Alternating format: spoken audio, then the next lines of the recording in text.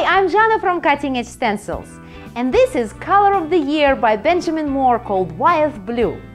And this is what exact same wall looks like when we stenciled it in our Gabby's brocade. And here's what you need for this fun and simple project. Let's get started!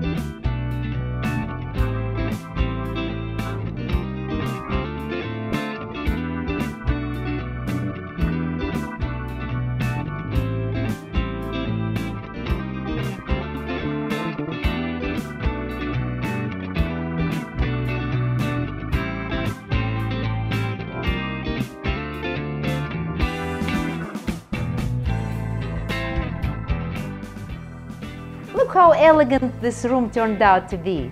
Do-it-yourself projects are fun, fast and easy with cutting-edge stencils and Benjamin Moore paints. Thank you for watching and we'll see you on our next stenciling project.